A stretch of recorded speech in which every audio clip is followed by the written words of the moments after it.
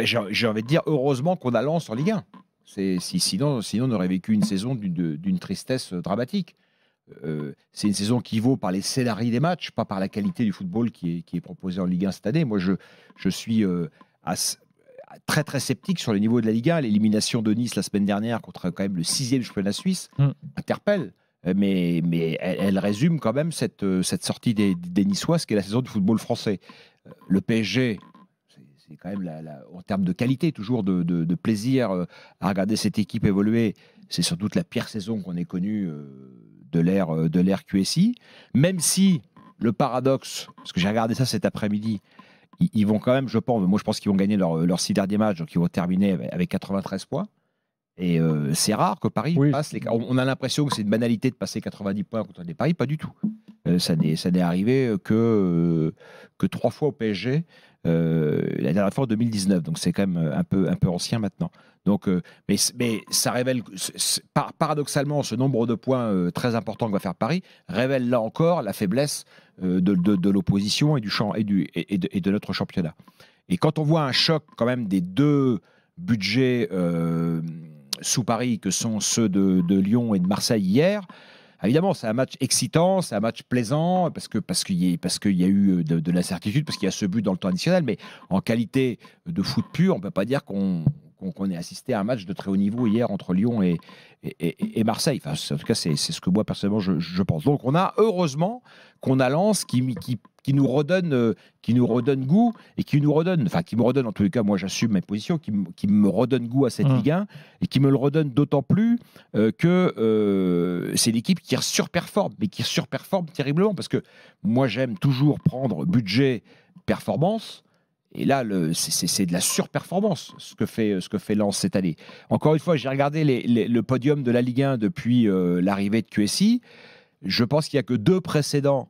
Euh, il y a Montpellier, évidemment, premier champion. Bon, C'était une année particulière. Le, Mm. Qatar n'était pas encore installé, mais euh, ce qu'ont fait les Montpellier en 2012 avec René Girard, ça ressemble beaucoup à ce que font les Lensois cette année.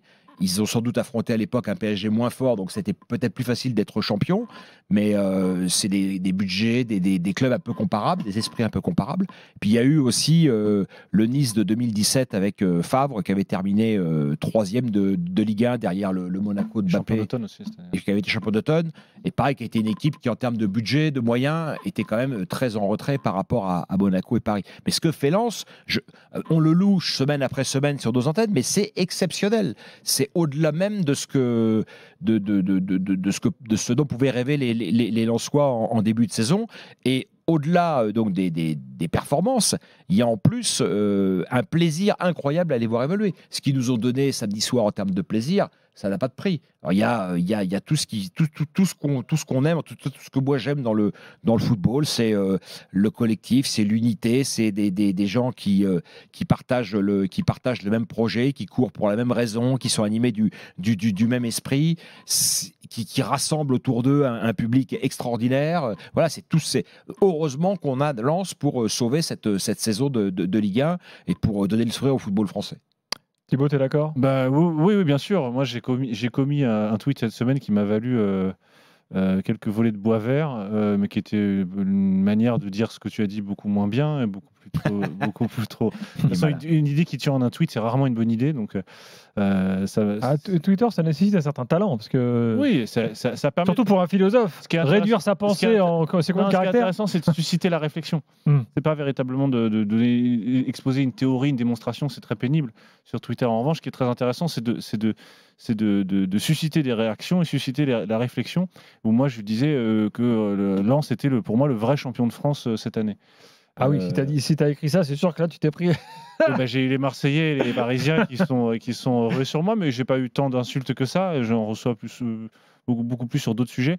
Euh, non, pourquoi? Parce que je ne veux pas répéter ce que tu as dit, mais effectivement, peut-être donner quelques chiffres. Euh, c'est le 11e budget, 62 millions de- d'euros de, de budget. Euh, troisième, euh, qui a été plusieurs fois deuxième dans, dans- dans ce championnat-là, euh, qui a un budget inférieur, hein, pour ne pas les, les citer, à Reims, à Nantes, à Rennes, euh, à Nice, bien sûr Lille, le voisin. à Lille. Euh, et donc, il y a d'abord, je crois, une réalité, euh, on pourrait qualifier de, de presque morale, quoi, du mérite. C'est-à-dire, en termes de, purement de mérite sportif, en termes de moyens employés et de résultats obtenus, c'est imbattable. Euros dépensés, points obtenus, imbattable. imbattable. Et, et, et c'est pas la première saison. Et ça, c'est mon deuxième point. C'est-à-dire qu'on a une trajectoire sur Lens. On n'est pas sur. C'est euh, un projet tu- construit. Voilà, tu parlais de Montpellier, mais Montpellier, ça a duré une saison. Là, on a un projet construit depuis la Ligue 2 jusqu'à cette, cette euh, saison. euh, avec une progression constante. Alors la, saison dernière a été un petit peu plus irrégulière, mais il y a des, il y a des pointes aussi sur le- dans, les- dans- dans le top 5, ils sont longtemps dans le top 5. Euh, et là, on a cette saison, cette idée d'un Lens qui est le, le vrai underdog. quoi. C'est vraiment le, le club que tu sais qui peut battre n'importe qui à n'importe quel moment de la saison et qui parfois peut se prendre des, C'est c'est ce qu'a vécu l'Angleterre avec Leicester, avec un Leicester qui lui a mais été pas du champion. tout le même style de jeu. Et ça, c'est mon troisième point. En plus, que- Qu'est-ce que- qu'est-ce qu'amène Lens en plus cette saison? C'est qu'il amène un style. Ce qu'ont ce qu'ont pas les autres équipes. Peut-être Marseille s'en rapproche, quoique moi j'ai plus de réserves sur Marseille, sur- pour- que je l'exposerai peut-être plus tard. Mais sur pour la Lens, qualité du jeu, tu veux dire. Ouais. oui, sur la qualité du jeu, sur l'idée de jeu, le projet, l'idée de jeu. projet de jeu de Dutor. Là, ce qui est très intéressant, chez, déjà Francaise, qui le connaissait il y a deux ans en arrière C'est devenu le- le- l'entraîneur quasiment de référence des entraîneurs français actuels. Il y a deux ans, personne ne connaissait, cet homme-là. Euh, il a réussi un, un, un- un Quand il, est nommé, quand il est nommé, tout le monde pense que c'est pour trois matchs. Bien sûr. Mm. Et, et c'est à ça qu'il faut mesurer le, le- le résultat et mesurer le succès. C'est de voir d'où tu pars et où tu arrives. Parce que c'est fa- évidemment quand tu es le Qatar et que tu es Galtier et autres, évidemment tu es déjà en haut. Donc c'est plus difficile éventuellement de mesurer le, le succès. Là, c'est facile à constater. Et l'évidence fait que tu as euh, un investissement hyper rentable, euh, un, un style de jeu très identifiable.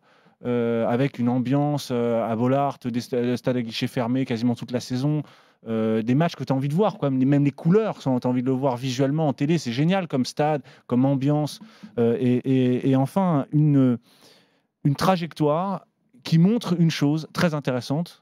Euh, qui paradoxalement, on pourrait dire, ah oui, c'est un peu irrationnel, c'est un peu foufou, euh, c'est un feu de paille. Non, pas du tout, c'est extrêmement rationnel. C'est Amber Capital qui est, le, qui est le, principal euh, investisseur, qui est le propriétaire du club, qui est un, qui est un, un- fonds d'investissement euh, extrêmement rationnel, euh, qui, a, qui a une stratégie, euh, qui a placé cet entraîneur-là pour une raison et qui est arrivé à poursuivre comme ça des, des, des recrutements intelligents et tout est fait de manière logique, rationnelle et c'est presque émouvant tellement c'est rationnel parce que tu te dis ah ben oui il y a une logique possible et il y, a une- il y a une raison dans la déraison. Et je crois vraiment que cette équipe-là pourquoi je pense que c'est la vraie ch- le vrai champion de France la formule est un peu provocante mais pour dire que là on peut construire sur quelque chose avec cette équipe-là on peut construire peut-être une forme de, de jeu à la française, une forme de... de c'est un entraîneur français, rappelons-le quand même. C'est euh, un entraîneur français avec une idée de jeu formé à Lorient, formé euh, dans les catégories inférieures, un formateur.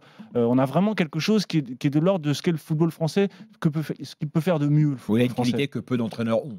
Voilà. Mais énormément. et pour comment ça se fait qu'on a mis autant de temps voilà.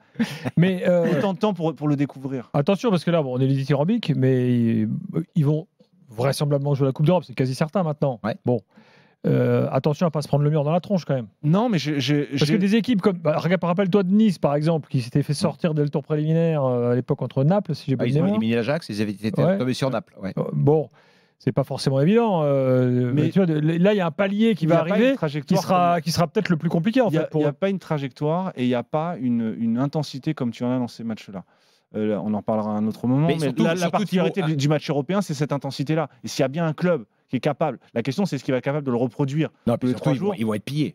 Ils vont, ils vont, ils vont devoir répondre Bah, à cette des, année, les, oui. les, les Damso, les. Peut-être, mais au- si j'en euh, si vont crois, la- attaqués. si j'en crois la planification et si j'en crois la trajectoire de, de Amber Capital et de, et de ce club-là depuis trois saisons, il n'y a aucune raison pour que, un, ils n'aient pas prévu leurs arrières, et deuxièmement, que, que ce soit pas euh, Oui, ça mais aussi planifié. Thibaut, tu sais comme moi que même avec toute la rationalité que tu essaies de mettre dans le football, euh, là, ils, ont, ils font quasiment bonne pioche à chaque fois qu'ils qu'ils prennent un joueur.